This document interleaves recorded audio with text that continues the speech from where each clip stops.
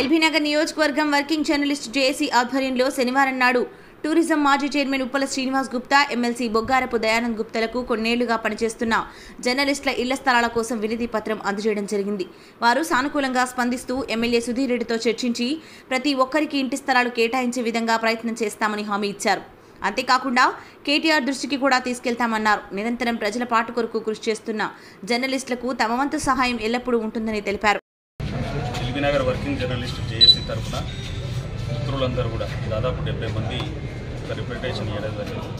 ఈ రిప్రజెంటేషన్ కాపీని ఎందుకంటే మీ అందరికీ చాలా మంది కూడా రికార్డ్ దగ్గర ఒకడానికి వర్క్ నుంచి నుంచి హైదరాబాద్లో బతకాలంటే మరి చాలా కష్టం. సొంత ఇల్లు లేని కాబట్టి మీ అందరికీ కూడా ఇల్లు ఇచ్చే విధంగా స్థలం ఇచ్చే విధంగా వేరే జర్నలిస్టులకు వేరే కాన్స్టిట్యూషన్లో ఏ విధంగా తీసుకోపో నేను సుమిరెడ్డి ఎమ్మెల్యే గారితో కూడా మాట్లాడతా.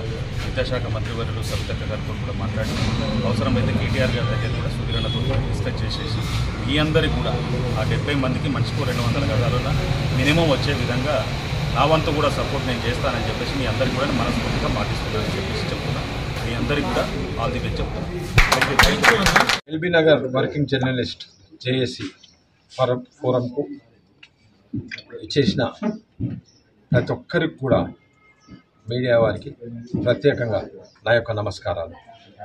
మీరు ఇప్పుడే మన ఇళ్ళ స్థలాలు ఎల్బీ నగర్లో కావాలని రిక్వెస్ట్ చేసి మా దగ్గరికి రిప్రజెంటేషన్ ఇవ్వడం జరిగింది.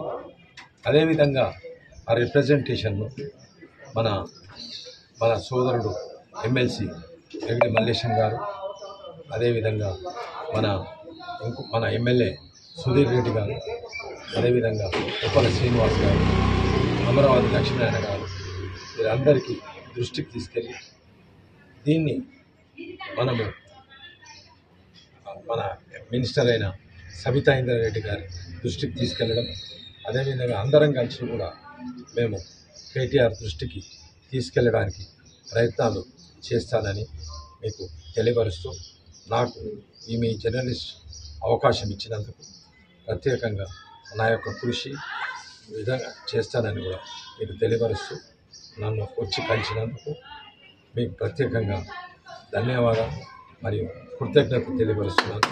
అదేవిధంగా best of luck. Thank you thank you